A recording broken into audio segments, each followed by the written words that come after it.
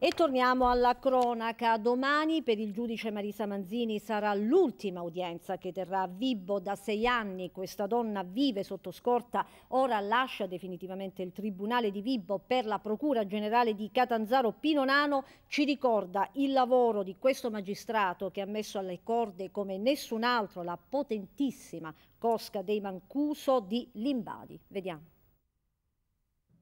Storia la sua di una donna esemplare il coraggio che Marisa Manzini ha seminato per strada ogni giorno in difesa dello Stato del diritto e contro le più potenti cosche mafiose del Vibonese non conosce eguali. Storia la sua di una donna magistrato senza compromessi, trasparente, austera, impeccabile, corretta ed esemplare, ma il suo lavoro è andato avanti in tutti questi anni in maniera difficoltosa. Ha lavorato per mesi e mesi da sola. Pareva che lo Stato l'avesse abbandonata a se stessa in condizioni precarie, con le scorte dimezzate, il personale insufficiente. In queste condizioni aveva detto vado via, aveva chiesto il trasferimento.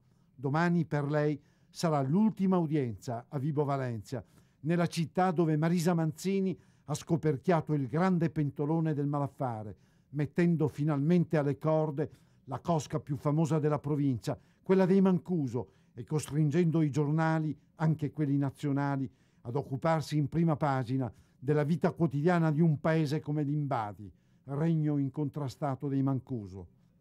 Senza il coraggio di Marisa Manzini che sull'altare della toga ha sacrificato gli interessi privati di tutta la sua vita, nulla forse si sarebbe mai mosso per davvero da queste parti.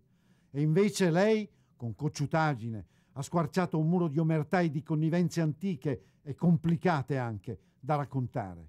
La nostra speranza oggi è che ora che lei va via, il suo lavoro non finisca nella spazzatura, come mille altre cose serie di questa regione purtroppo sono finite.